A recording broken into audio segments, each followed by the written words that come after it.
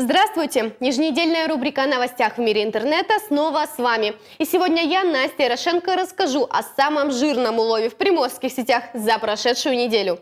Этот выпуск обещает стать самым автомобильным, как и наш край. Сразу две новости с приморских дорог привлекли внимание жителей блогов и социальных сетей. Первое. Полицейский распил. Мастера, к которым приехала Toyota Corona Premio с опознавательными знаками ГИБДД, были немало удивлены, обнаружив на днище машины характерный сварочный шов. Это ставит полицейскую машину в один ряд с так называемыми распилами. Напомню, что такие транспортные средства вне закона.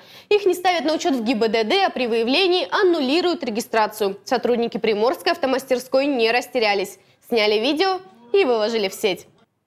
А эту фотографию сделали обычные автомобилисты. Кто-то решил пойти против системы в самом прямом смысле этого слова. Ситуацию сравнили с игрой GTA, похожий уровень беспредела. Также в социальных сетях заявили, что автомобилисты на Золотом мосту нередко идут против течения. Возможно, тому виной сложные развязки.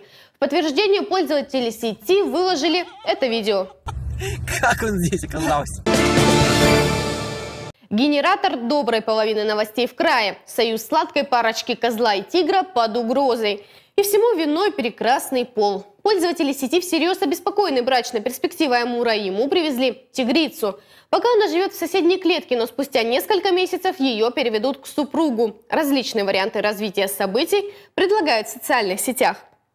Тигрица кинется на козла, а Амур будет его защищать. Будет великая битва, экшен-трансляция и 10 миллионов онлайн-просмотров со всего мира. А что, если козел отобьет тигрицу у Амура?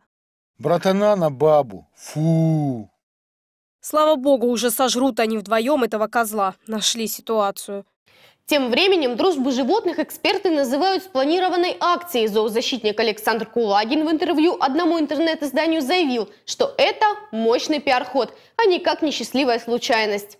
Этот козел рос у фермера вместе с огромной собакой породы Алабай, а тигр Амур – самый робкий тигр, который привезен из Хабаровского зоопарка и который в принципе не хотел выходить из клетки. Это тигр, выращенный в неволе, домашний – был искусственно составлен особый сценарий, но если Амура подержать голодным недели две-три, то он сожрет этого козла.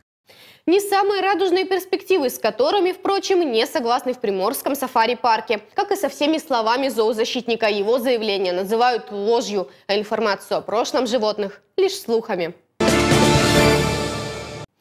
И в заключение фото недели. Этому городу нужен новый герой, считают пользователи сети. И это не набившая скомину Илья Лагутенко с его Владивостоком 2000 и не парочка Тимура Амура, а матрешка. Правда, в комментариях предположили, что на ее месте должен быть снег, которого этой зимой явно не хватает.